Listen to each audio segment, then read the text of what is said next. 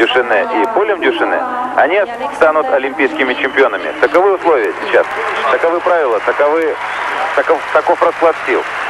Но есть шанс. Какой шанс у Дюшина? Если Майя Усова и Александр Журин опередят Климова и Пономаренко. И вот сейчас их выступление. Москвичи, ученики Натальи Дубовой на льду.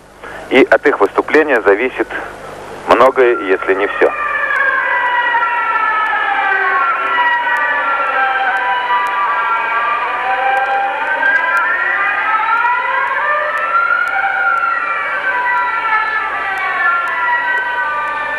На музыку Вивальди композиция.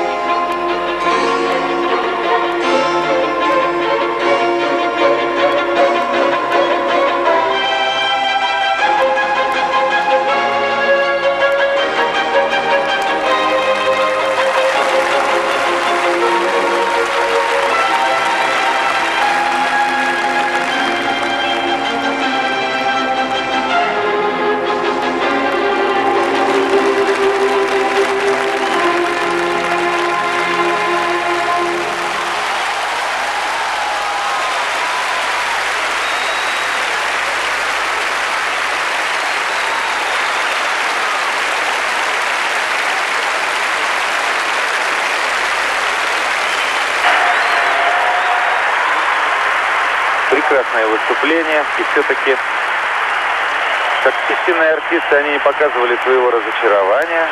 поскольку, по мнению многих специалистов, их оригинальный танец был одним из лучших.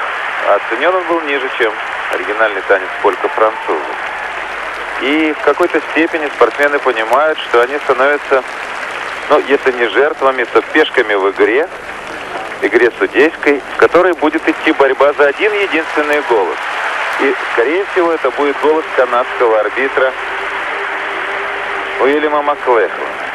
Прежде он отдавал предпочтение Климовой и Пономаренко, и даже отдавал предпочтение Усовой и Жулину. Как-то ему сегодня придется не сладко. Но судя по тому, насколько он входит в разногласия с остальными арбитрами, в частности в оценке французского дуэта Маньот Лаванши, человек э, такой со собственным мнением и твердо его придерживающийся. Высокие оценки, но оценки, которые, которые, которые, ну, я бы сказал, оставляют все-таки возможность для того, чтобы их опередили. Вы понимаете, к чему я клоню. Я еще раз напоминаю условия игры. Только в том случае, если кто-то обыграет Климову Пономаренко помимо французского дуэта,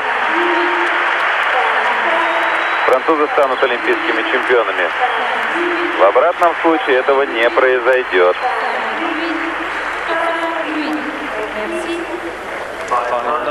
Майвусова начинала в Горьком. Ей